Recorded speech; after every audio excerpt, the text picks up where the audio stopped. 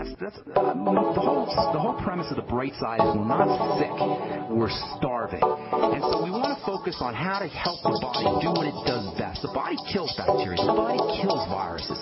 You have an immune system that's designed to handle these things. And when you, when you start using antibiotics and antiseptics, yeah, they have their place. I, I'm certainly not. I don't mean to marginalize colloidal silver. It has its place. It's been used. What is up? Greetings, America, and welcome to the Bright Side, your nutritional program dedicated to the understanding of the vast world of nutrition and nutritional supplementation. I'm your host, Pharmacist Ben, nutritional pharmacist from Boulder, Colorado, registered pharmacist number 12275. I specialize in using nutritional supplements where other healthcare practitioners use toxic pharmaceutical drugs and deadly medical procedures. If you suspect that there are natural nutritional roads to your vitality and health and well-being, and to addressing your health challenges, whatever they may be, but you don't know where to begin, you have come to the right place. As you listen to the bright side every day, you are more and more in control of your body. You are more and more knowledgeable, and you know you can overcome any health issue.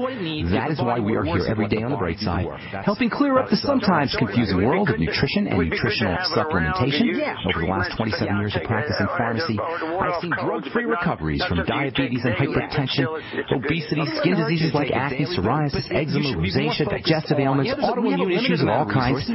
Recoveries that by the standards of modern medicine can only be called a miracle. But what is in the world of the body, what is in the world of biology, standard operating procedure because the human biological system is a healing system, it's a regenerating system. It is designed divinely to heal and renew itself on a moment-to-moment basis. And while some folks may call that healing, renewing, regenerating system a miracle, it is truly no miracle at all. It is simply the way the body works. If you have questions about health or nutrition or prescription drugs, we want to hear from you. We welcome your calls. On the bright side, our number is 855-660-4261. That's 855-660-4261. If you have questions about prescription drugs, you want to get off your meds and get on a good nutritional supplement program, we can help you do that. Of course, if you have questions about the longevity products or ingredients or something you may have heard on the news, skincare questions, we're glad to help. 855-660-4261. 61 is our number for you guys who want to purchase any of the longevity products that you hear advertised on the Bright Side, or you hear us recommend on the Bright Side. You can call the Bright Side Ben phone team at 866-735-2470. That's 866-735-2470. You can also head over to my website, brightsideben.com, and you can click on the Buy Now link. You'll find all the longevity products up there. Or you can also click on the Join the Team link if you want to start a longevity business for a one-time $10 fee.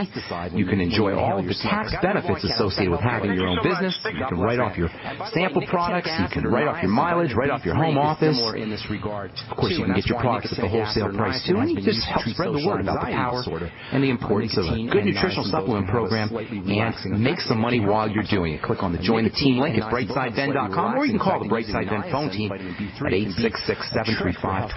866-735-2470 and they can tell you all about nicotine addiction associated. And I also want to encourage you to check out my blog, pharmacistben.com, which we update regularly with news stories as well as blog posts. Thank you to my webmaster, Robert Lundgren. Appreciate your work, Robert, very much. All right, if you're in the Austin area, I also want to remind you that I'll be doing a talk at Harlan's uh, Brave New Books for Harlan. Uh, if you're in the Austin area, I know we got a lot of listeners in Austin. I'd love to see you guys come by and say hi. That'll be this Thursday, Friday, but I think it's the 23rd of January, and I'm pretty sure it's at 7 p.m., but I'll get you more info on that uh, tomorrow. Uh, Brave New Books in Austin, Texas this Thursday. Hope to see you out there. Okay, we are talking about the most abundant amino acid in the body, a super important supplemental amino acid, one of my favorite supplements. Uh, it has a little bit of a dark side, and there's some folks who are saying that you might not want to supplement with glutamine. I don't buy into that. We'll talk about that here in a little bit. Glutamine, the supplement, uh, this amino acid, the most abundant amino acid in the body, glutamine, really, really important as a fuel source. Cells can derive energy from glutamine like they do from glucose, as we said on our last program. That makes glutamine really helpful for sugar cravings. You can actually get energy. Cells can get energy from glutamine as they can from glucose, but glutamine doesn't really affect insulin as much as glucose. It might affect it a little bit, but certainly not as much as glucose does. That means glutamine's great for diabetics. If you're trying to wean yourself off of bread or pasta or sweets. If you just have that kind of hypoglycemia, low blood sugar kind of feeling in the middle of the day, glutamine can help. Glutamine is the primary source of fuel for all rapidly dividing cells. That means cells of the immune system, that means cells of the skin, and it means cells of the digestive tract. Glutamine is awesome for all digestive tract issues. Even folks who don't believe in supplementing with glutamine have to concede that if you're dealing with leaky gut syndrome or any kind of breakdown in the digestive lining, digestive tract, glutamine can be one of your best supplemental friends.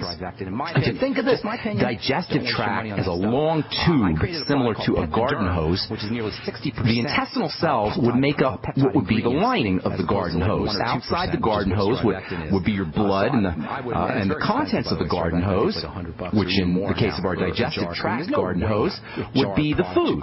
So you got food going down the garden hose, going down, down the digestive tract. We're calling it a garden hose.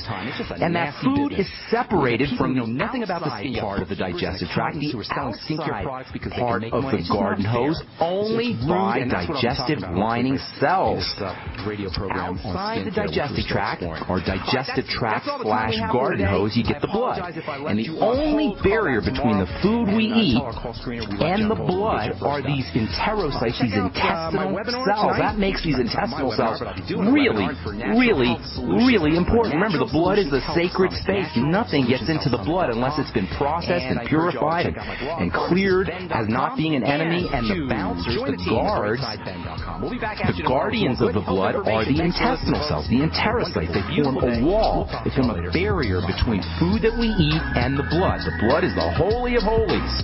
The blood is a sacred space of the body, and nothing, absolutely nothing, is supposed to get into the blood unless it's been fully processed. When our enterocytes, when our intestinal cells, which are running on glutamine, let me say that again. These things are important, and they're running on glutamine.